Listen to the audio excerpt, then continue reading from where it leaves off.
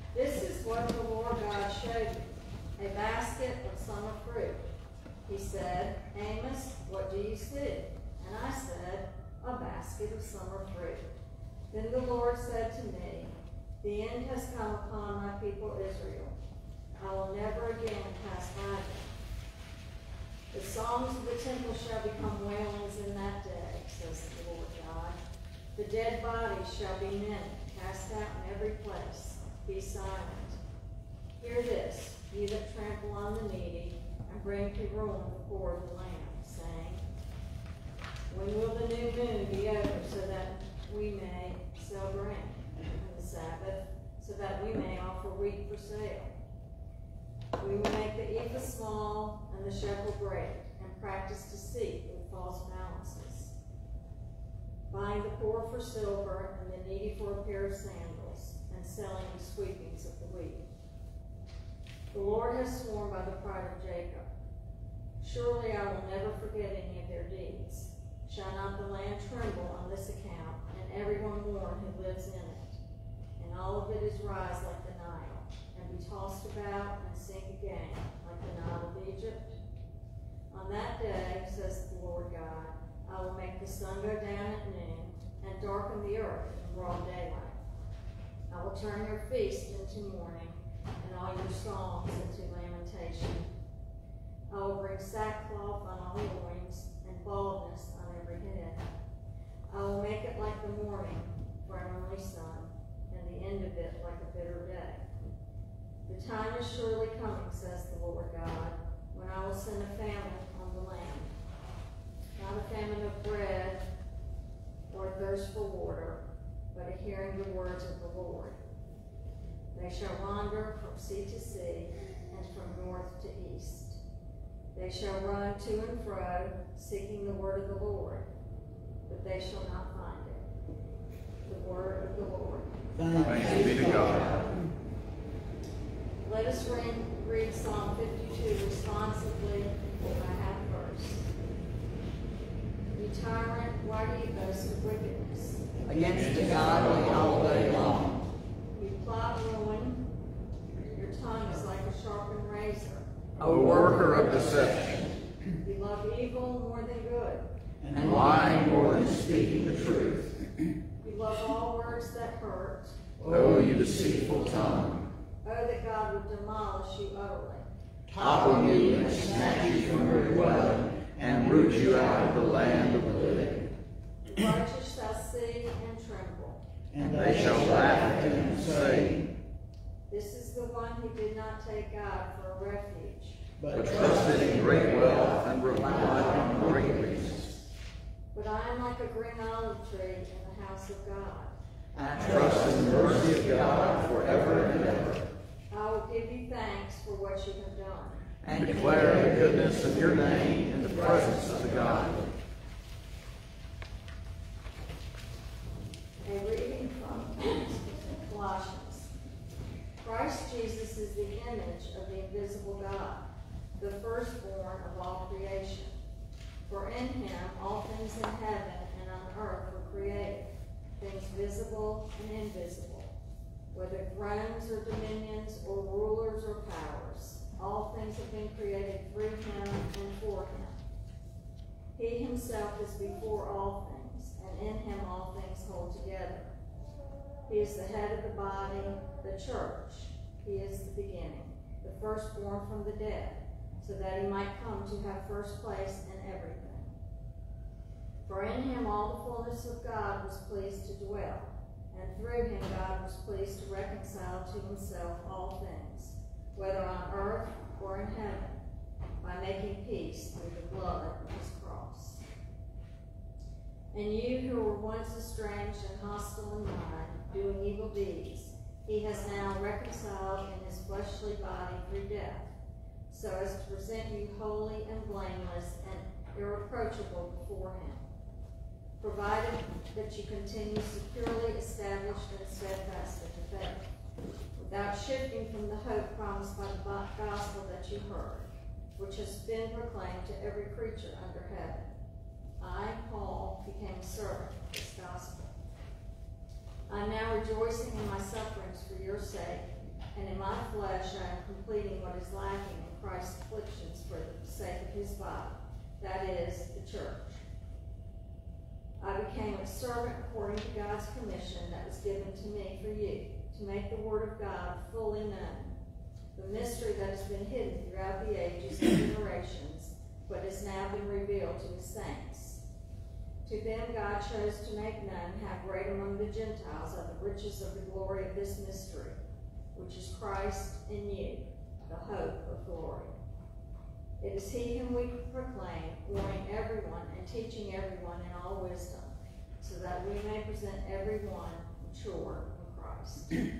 The word of the Lord. Thanks be to God. The gospel hymn can be found on page seven hundred and eleven. Seek ye first the kingdom of God.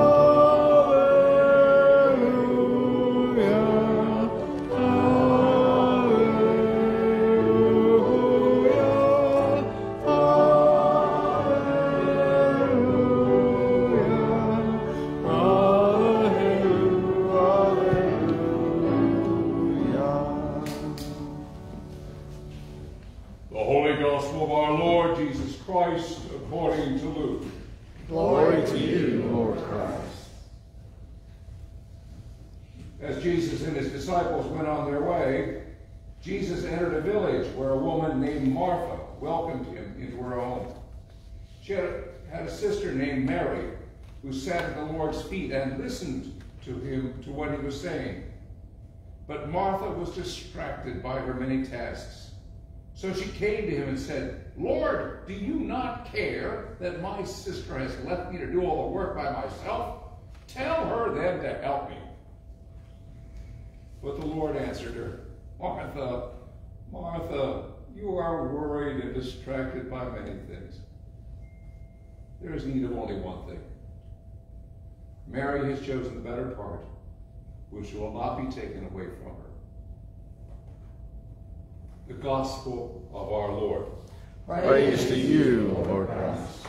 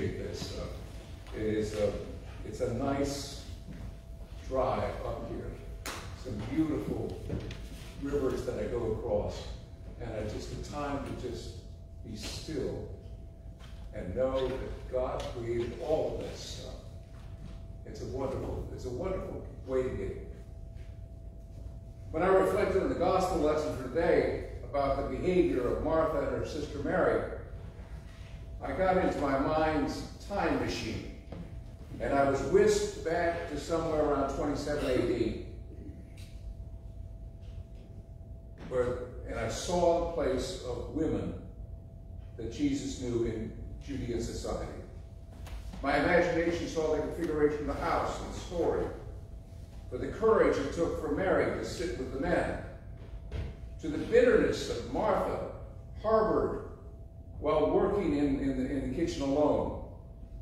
Martha was doing all the right things. She was in charge of her kitchen. She was making a wonderful meal, but she was filled with resentment because she thought it was all about her. She was, as the editor of Luke writes, distracted. I wrote my poem, Singing in the Kitchen with Martha. And suddenly I was put back in a time machine back to the spring of 1965. And I heard the word adequate. Adequate. Oh, so many years ago, I was an 18 year old second semester freshman at the University of North Carolina, Chapel Hill, as a drama major. And I was cast in my first Carolina Playmakers play. It was not a major part, but I was filled with a desire to make my part stand out. When the newspaper review came out, I was mentioned by name and the name of the character. And there was a one word description of my work adequate. I was devastated. My friends tried to comfort me by saying at least I wasn't reviewed as being inadequate. But in my shame, I went back over my work. I knew I had done the part right. I had said the words clearly and distinctly. I got the accent right, put the emotions right, made the right moves on the stage, but I missed the point. I was so busy trying to prove my competence that I didn't enter into the fullness of the play. All my hard and good work was all about me. I was filling myself up rather than emptying myself out. I was, as the editor of Luke writes, distracted. See, only when an actor empties him or herself out, dies to one's ego, entering fully into the new community, can the character he or she plays come to life. Plays are not about talented single actors getting on a stage with other talented single actors, saying written lines and not bumping into the scenery. A play is about people joyfully coming to share their particular talents, to work together to create a new reality.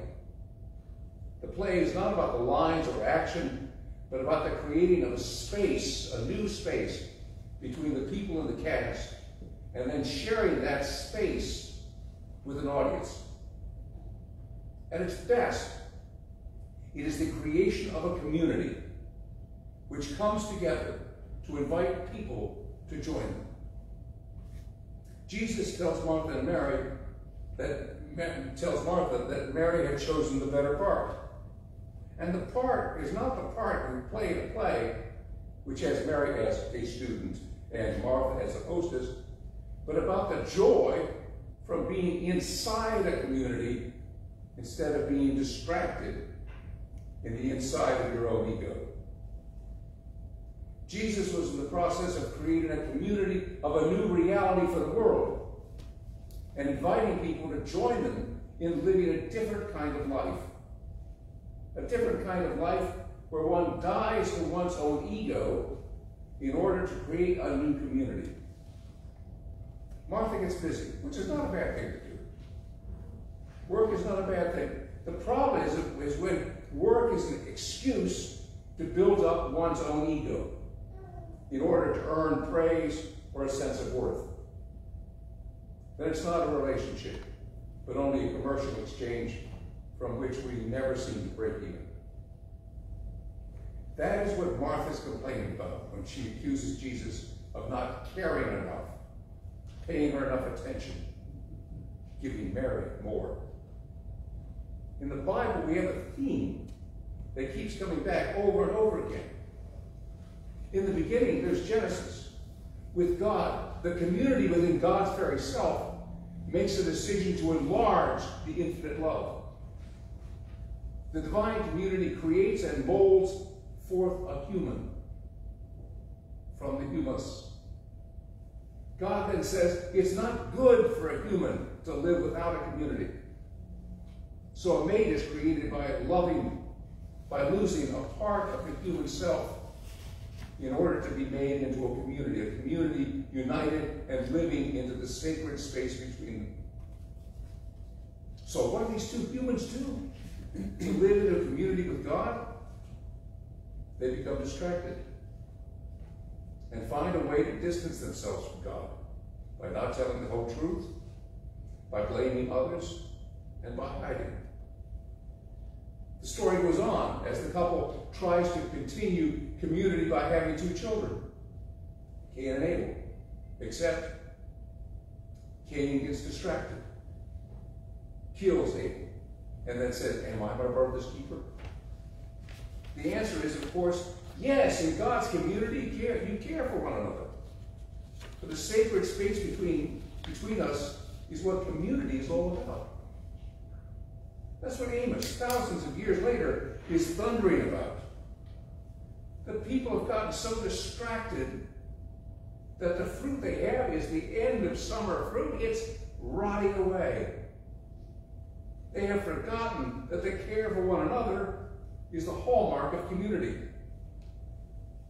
The psalmist for today decries our living, our loving words that our loving words that hurt which undermine community. The writer of the letter to Colossians urges that people remember that they're being brought together by a power greater than themselves into a community and not to be distracted from the love that binds them. And when you were once a strange and hostile mind, doing evil deeds, he is now reconciled in his fleshly body through death, so as to be present, as to present you holy and blameless and irreproachable before him, provided that you continue securely established and steadfast in faith, without shifting from the hope promised by the gospel. The theme of Scripture from beginning to end is that we are meant to live in community where we take care of God's garden, God's children together. We are cast in God's play to care for each other and our neighbors. But somehow, in our moments of distraction, we create and take parts in other improvisations of comedies and tragedies to find so many ways to get distracted and to pick arguments with each other and our neighbors. Imagine what life would look like if we begin each day not with a rehearsal of disappointments of the past or the previous day, but with a thanksgiving for the day to come, such as with the last verse of the psalm. I will give you thanks for what you have done and declare the goodness of your name in the presence of the godly. With the thought expressed by a Buddhist monk, Thich Nhat when he writes, Waking up this morning, I smile. 24 brand new hours are before me. I vow to live fully in each moment and to look at all things with eyes of compassion. You are members of St. Thomas Church. You live in Ahoskie and you're looking for a new rector. One of the questions you will need to ask yourself is, what is the community in which you are called to tend the garden souls with and for each other together through the eyes of compassion? My hope is that whenever you find yourself having cast yourself in one of these improvisations, singing in the uh, kitchen with Martha, which in my experience seemingly only happens on days ending in the letter Y, which means every day. I pray you stop and listen to Jesus, who's inviting each of us with a smile on his voice as he says to you your person, your personal and corporate name. Oh, you are so worried and distracted by many things. There's need only one thing. There's a better part which need not be taken away from you. And she agreed. I, as I start to write, I, I start a poem, usually try to figure out what I'm going to say. So this is uh, the poem that I wrote called Singing in the Kitchen with Martha. Over the stew, Martha's continued stewing. Each paddle stroke thudded on the pot's edge, spilling, spilling on the fire sizzling. She made her pledge she'd be shamed, Mary be shamed at the dinner, having her ruin how she neglected to help out her good sister, who was so faithful. She opted to stay in the kitchen, muttering away quietly, so that they not hear bitching. Then play a put upon martyr, showing a big blister. Martha longed to have Mary hear Jesus scold Mary for her selfish pursuit of a life, lounging with lazy disciples, while in the hot kitchen, scrounging, Martha's earning her right to be in Jesus' fold. How distracting it is to look down on others, almost forgetting that we're sisters and brothers.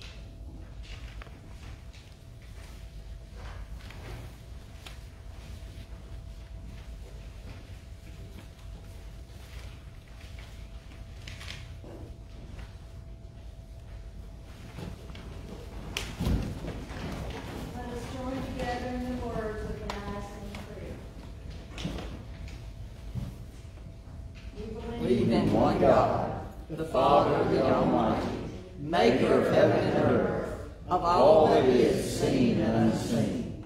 We believe in one Lord Jesus Christ, the only Son of God, eternally begotten of the Father, God from God, light from light, true God from true God, begotten, not made, on one being with the Father. Through him all things were made. For us and for our salvation, he came down from heaven. By the power of the Holy Spirit, he became incarnate from the Virgin Mary and was made man. For our sake, he was crucified under Pontius Pilate. He suffered death and was buried. On the third day, he rose again in accordance with the Scriptures. He ascended into heaven and is seated at the right hand of the Father. He will come again in glory to judge the living and the dead, and his kingdom will have no end. We believe in the Holy Spirit, the Lord, the giver of life, who proceeds from the Father and the Son. With the Father and the Son, he is worshipped and glorified. He has spoken through the prophets. We believe in one holy, Catholic, and Apostolic Church. We acknowledge one baptism for forgiveness of sins. We look for the resurrection of the dead and the life of the world to come. Amen.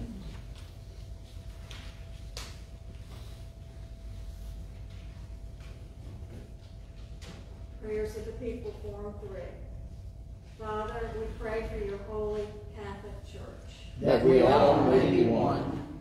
Grant that every member of the church may truly and humbly serve you. That your name may be glorified by all people. We pray for all bishops, priests, and deacons. That they may be faithful ministers of your word and sacraments. We pray for all who govern and hold authority in the nations of the world. That there may be justice and peace on the earth. Give us grace to do your will in all that we undertake. That our works may find favor in your sight. Have compassion on those who suffer from any grief or trouble. That they may be delivered from their distress. Give to the departed eternal rest. That light perpetual shine upon them. Especially let us remember Clausen Jernigan, whom the altar flowers are in memory of, given by Becky and Dicky Cocker.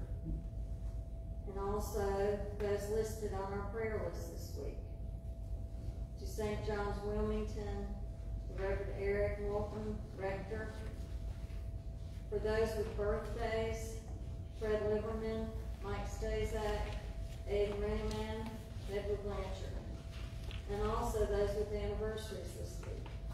Colin and Patsy Jones, Lee and Joan Fitzwater, and and, Bubba and Carolyn Peel. And we give thanks today to Claire Presley for her beautiful music.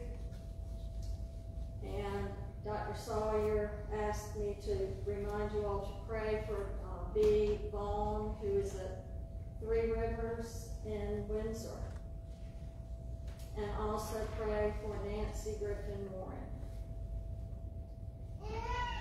Let us pray for our own needs and those of others.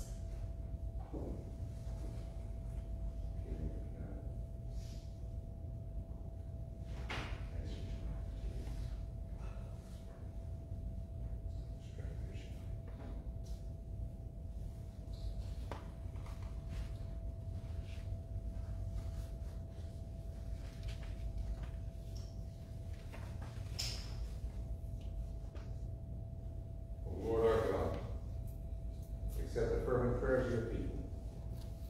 In the multitude of your mercies, look with compassion upon us and all who turn to you for help. For you are gracious, O lover of souls, and to you we give glory. Father, Son, and Holy Spirit, now and forever. Amen. Let us confess our sins against God and our neighbor.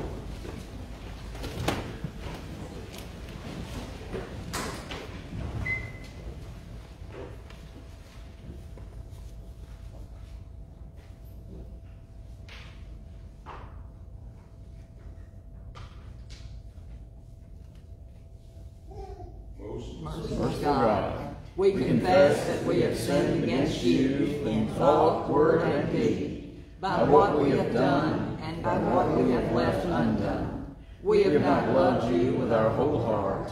We have not loved our neighbors as ourselves. We are truly sorry and we humbly repent. For the sake of your Son, Jesus Christ, have mercy on us and forgive us, that we may delight in your will and walk in your ways, to the glory of your name. Amen. As far as the east is from the west, so have your sins departed from. May you day, may you begin the new day, set free, so that you may walk in joy and live in peace with God and all of God's people this week. In Jesus' name. Amen. And the peace of the Lord be always with you. And also with you.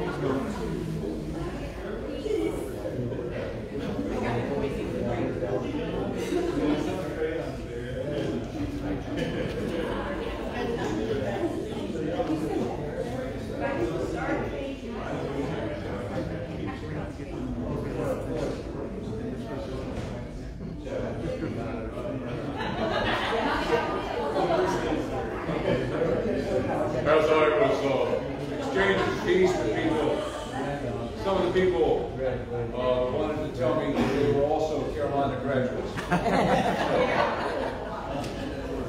I was thinking maybe that we ought to add a new song that I learned at Carolina.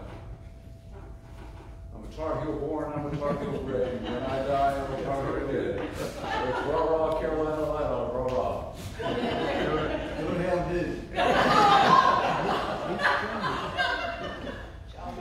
Next month we'll do a Duke song.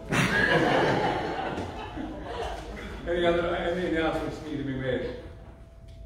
Uh, in a week, we'll have morning prayer with uh, sermon, and then in two weeks, we will have Eucharist with baptism for uh, Alice Harrell, and the cover dish will follow the service. I tried to talk me into putting it off until I came back. We'll find you someone to baptize next time. Do it.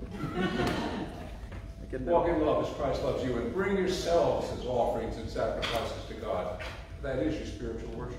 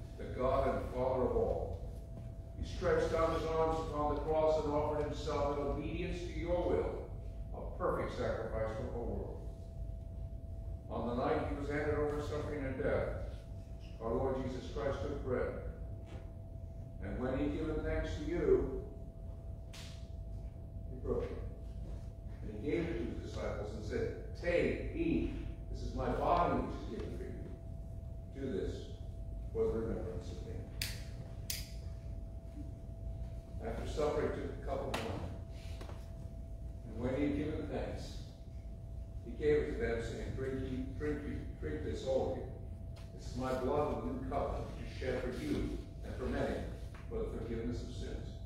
Whenever you drink this, do this for the remembrance of me. Therefore, we proclaim the mystery of faith. Christ has died, Christ is risen, Christ will come again. We celebrate the memorial of our redemption, O Father, in the sacrifice of praise and thanksgiving. Recalling his death, resurrection, and ascension, we offer you these gifts. Sanctify them by your Holy Spirit.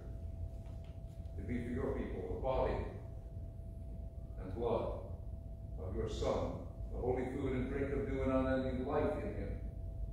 Sanctify us also, that we may faithfully receive your, this holy sacrament and serve you in unity, constancy, and peace.